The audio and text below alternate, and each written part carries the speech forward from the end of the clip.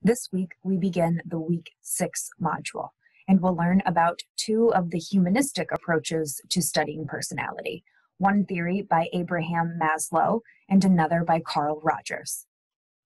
Abraham Maslow was an American psychologist who is best known for his contributions to humanistic psychology, which is considered the third force of psychology after psychoanalysis by Freud and after behaviorism.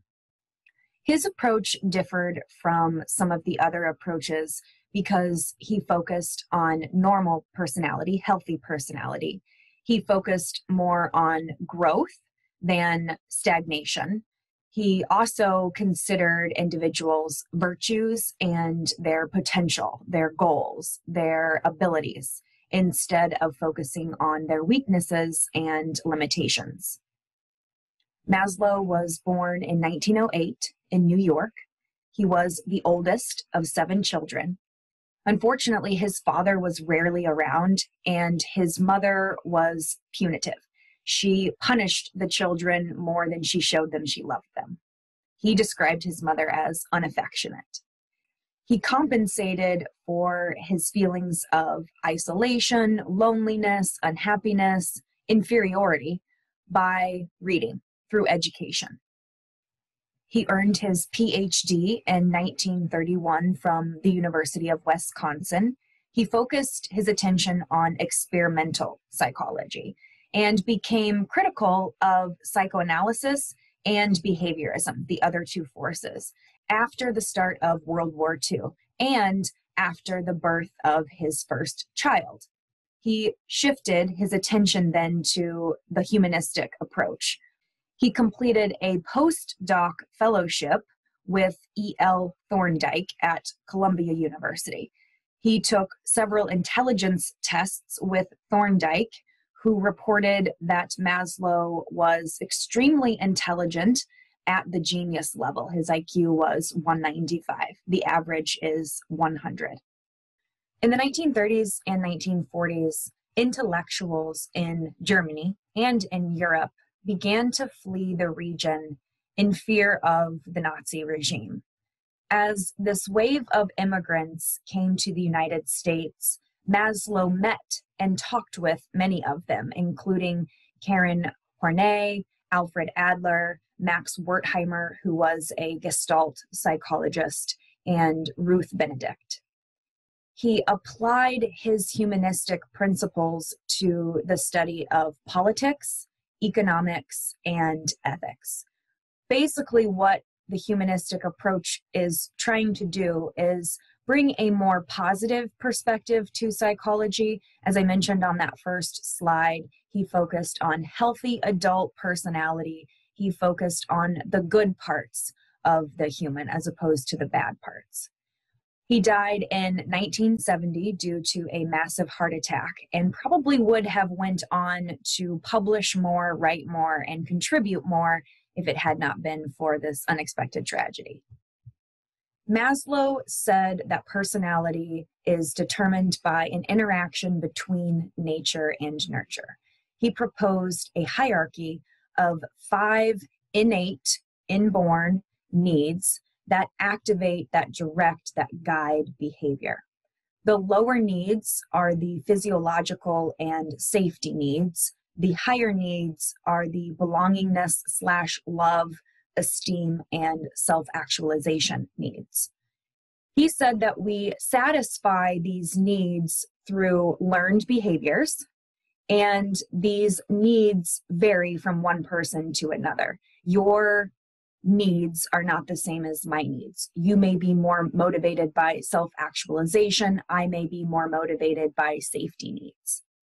These needs enable us to grow, develop, and become the best version of ourselves, the version that we are supposed to become.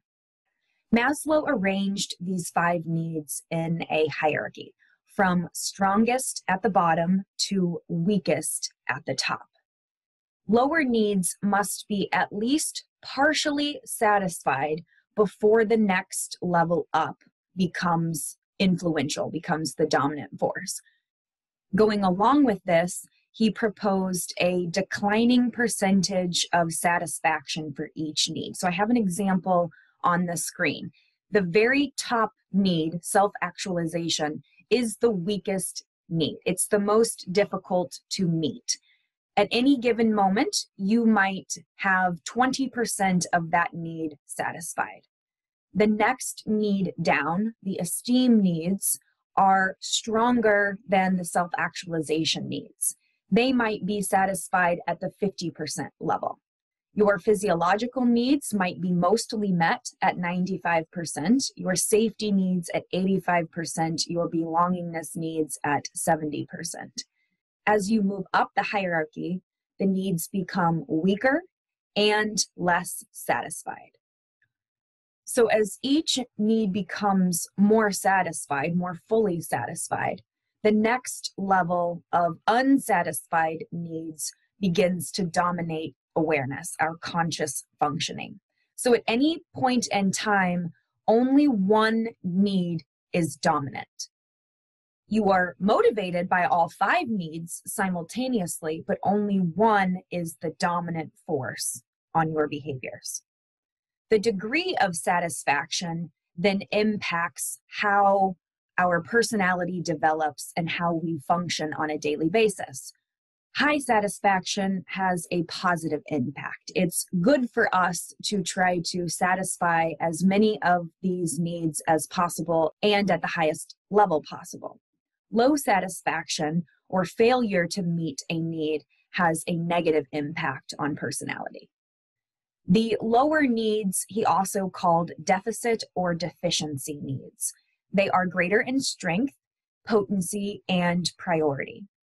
Failure to satisfy these needs produces some type of crisis, a deficit or lack in the individual. Something is missing.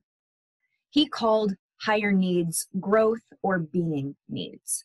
The belongingness love need appears in adolescence, and the other two appear in adulthood. Satisfaction of the higher needs leads to improved functioning, improved health, improved happiness, and improved longevity. Good things when we satisfy higher needs, bad things when we don't satisfy the lower needs.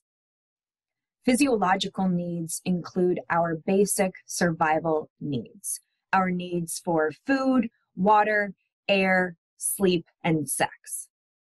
Rarely are these needs a concern for middle class Americans. These needs, according to Maslow, were more of an issue for individuals in less developed countries. Safety needs include the need for stability, security, and freedom from fear.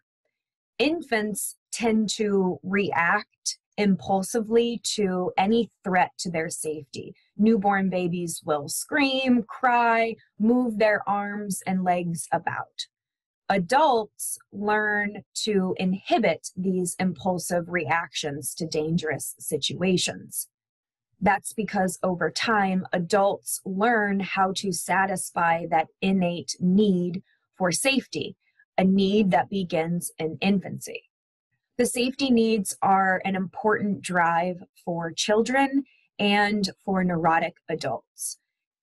Children like structure because it helps them adapt to their environment. By knowing what happens at certain times throughout the day, children can predict their unpredictable environment.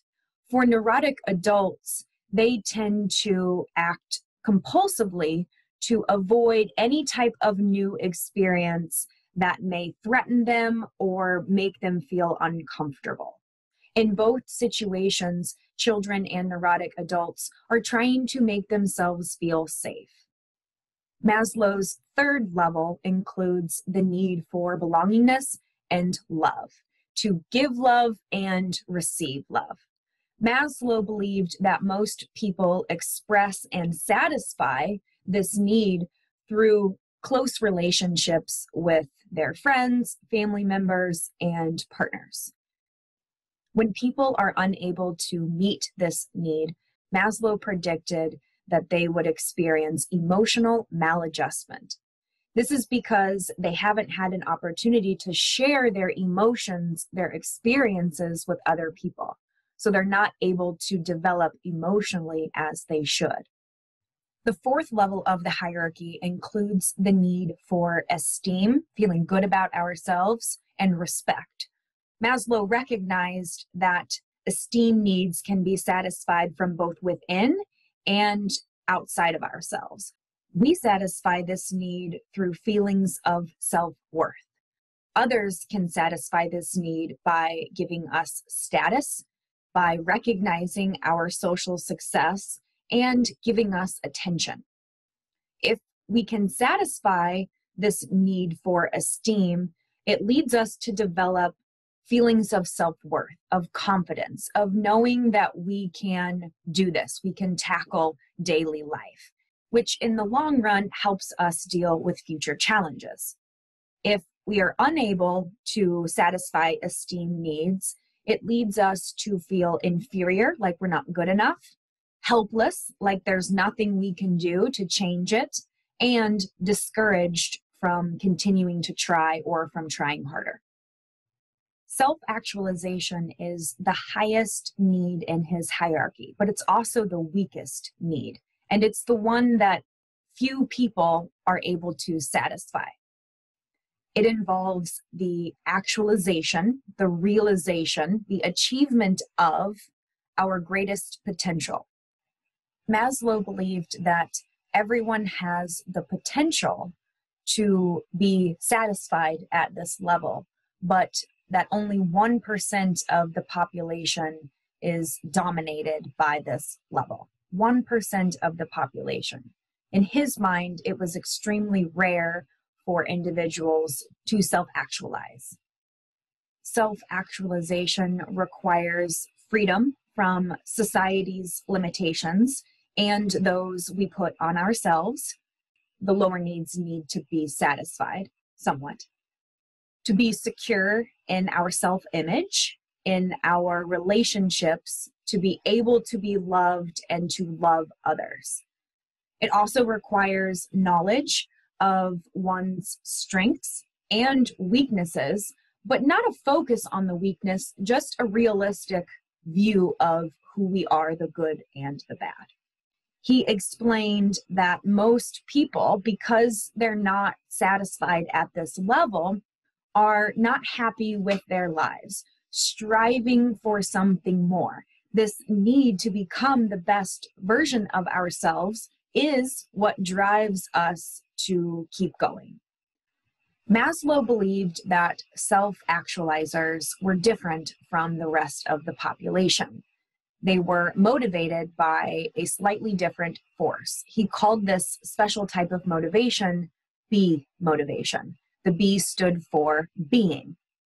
This meta motivation involves maximizing one's potential and developing from within, actualizing the self, knowing who you are and bringing that to fruition. The goal for self actualizers is to enrich their lives by constantly seeking new challenges. Each one of these challenges creates tension. They need to do something, they need to accomplish this goal and that tension is what motivates them. For self actualizers, the tension is a good thing. It's what drives them and keeps them going.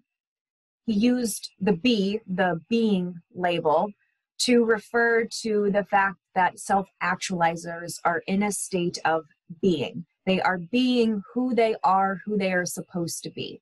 They act spontaneously, they search for new opportunities. They're not afraid of new experiences. They're really just squeezing every bit out of life that they possibly can. Of course, this state of being doesn't look the same for everyone. He came up with a list of meta needs to explain these different states. I have some examples here goodness, wholeness, uniqueness, perfection, these are the adjectives he used to describe the different states of being that self actualizers enjoy. If they're unable to reach these meta needs, then they cannot fully express and realize their full potential. So, even for self actualizers, although they're motivated a little bit differently than the rest of the population, they can still suffer what he called metapathology, which is abnormal development. It's an inability for people to meet those meta needs, and as a result, they are unable to fully realize the self. Self actualizers have a realistic perception of themselves and of reality. They accept themselves and others. They act spontaneously and naturally. They are themselves. They act like themselves. Be yourself is their motto. They focus on problems outside of themselves. They have a sense of detachment and need for privacy as a way of coping with and maintaining their self actualized state. He also believed that they are appreciative of new ideas and new information. They enjoy what he called peak experiences those life experiences that transform us, that have a significant impact on our lives. They have an interest in the social environment. They want to interact with others. They enjoy time alone to recharge, but they also enjoy being around other people. They have deep, intimate interpersonal relationships where they can share their thoughts, their feelings, and also listen to other people share their thoughts and their feelings. Self actualizers tend to be creative and able to produce and create unique ideas, products, services. And finally, self actualizers tend to resist pressures from the social environment they like to be around people, but they also recognize how different things in our environment are pressuring us to do things. For instance, going to the grocery store and looking at the magazines at the checkout, some of us feel pressured to look like the people on the magazine covers. Maslow recognized that our social environment can have this kind of impact on us. He said that self actualizers are able to rise above this and overcome it. They resist these pressures. And once again, they act like themselves. They are themselves, true to themselves. He identified some of the reasons why people, 99% of the population, fail to fully self actualize. Number one, poor economic conditions. If you don't have the money to experience life, to grow and develop, it's going to be hard for you to reach your full potential. So he recognized that money and some of the other things that go along with higher class, higher status in society, some of those things are important for self actualizing. Number two, inadequate education. Number three, improper child rearing practices. Parents who are overprotective prevent their children from expressing themselves and being true to themselves. Parents who are overly permissive allow their children to experience things that they probably shouldn't and that are not part of their plan, but distract the child from the development opportunities that would help them grow and develop. The fourth reason that people fail to self actualize has to do with a fear a fear that by seeking new challenges and new opportunities, we may find ourselves in a situation where we can't cope, where we don't know what to do, where we cannot succeed. This fear can be paralyzing, it can prevent us from even trying. So, how did Maslow come up with this theory? He did two things. He analyzed the biographies and the written records from some of the people that he admired, including Thomas Jefferson, George Washington Carver, Eleanor Roosevelt. He also collected information from people who were alive. He gave them projective tests. He interviewed them, asked them about their life experiences, things that drive them, goals, aspirations in life, and he also used free association. He would give them a word and then ask them to respond with the first thing that came to mind. Unfortunately, his methods do not qualify as science. They were not objective methods, they were not systematic methods. In fact, most of the people that he picked were people that he thought were self actualized. He didn't spend as much time trying to understand the other four needs. Like the other theorists, Maslow did not create his own personality test, but there were several others that were developed years later. In 1964, the Personal Orientation Inventory was created. It's a 150 item personality test designed to measure the degree to which someone is self actualized. The short index of self actualization is a shorter version. It was created in 1986. And then in 1994, the basic need satisfaction inventory was also developed to assess how well we satisfy the other needs. Although we can't generalize Maslow's theory to the general population, it did inspire the development of several other theories. One of those theories is self determination theory. According to this model, we are all born with a tendency to express ourselves, to develop our capabilities, our knowledge, our skills, our talents, and to overcome challenges. These three aspects of life are something that we're all born with. This theory highlighted three needs that need to be met competence, autonomy, and relatedness. Competence has to do with your beliefs about how talented you are, how able you are to deal with life's challenges. Autonomy has to do with the freedom that you perceive, the flexibility in choosing what you want to do. Relatedness has to do with social relationships. Recent studies suggest that people who are able to meet all three of these needs do, in fact, enjoy positive outcomes like enhanced well being, enhanced self esteem, and the perception of self actualization. As we go through some of this information, remember that his theory was based on anecdotal evidence. He picked the people that he respected and analyzed their life histories. There are some studies that suggest those who are higher in the hierarchy experience less depression and are less neurotic than those who are lower in the hierarchy. There's also support for the relationship between self actualization and a variety of other positive outcomes like emotional health, creativity, well being, following therapy, academic achievement, autonomy, and racial tolerance people who are able to satisfy their esteem needs tend to enjoy positive outcomes. Things like feeling good about themselves, more likely to get job offers, get along with other people, fewer depressive symptoms, and fewer social problems. Now let's explore some of the strengths and the weaknesses of Maslow's theory. First and foremost, his ideas were more optimistic than those proposed by the other theories at the time. In the 1960s and the 1970s, humanistic psychology became more popular, and Maslow's theory contributed to that increase in popularity. His theory resonated with experts and ordinary people.